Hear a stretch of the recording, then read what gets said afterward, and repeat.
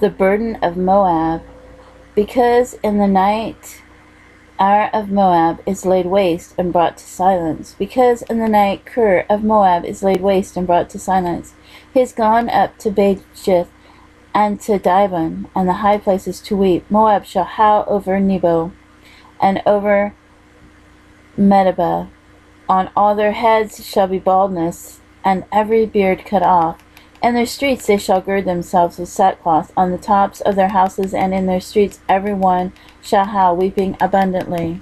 And Heshbon shall cry, and Elealeh their voice shall be heard even unto Jahaz. Therefore the armed soldiers of Moab shall cry out, his life shall be grievous unto him.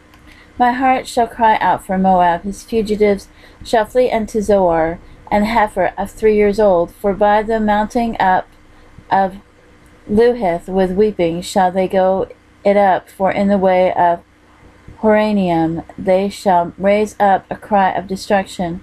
For the waters of Nimrim shall be desolate, for the hay is withered away, the grass falleth, there is no green thing. Therefore the abundance they have gotten, and that which they have laid up, shall they carry away to the brook of the willows. For the cry is gone round about the borders of Moab, and the howling thereof unto Eglaim, and the howling thereof unto Beer Elim. For the waters of Dimon shall be full of blood, and I will bring more upon Dimon, lions upon him that escapeth of Moab, and upon the remnant of the land.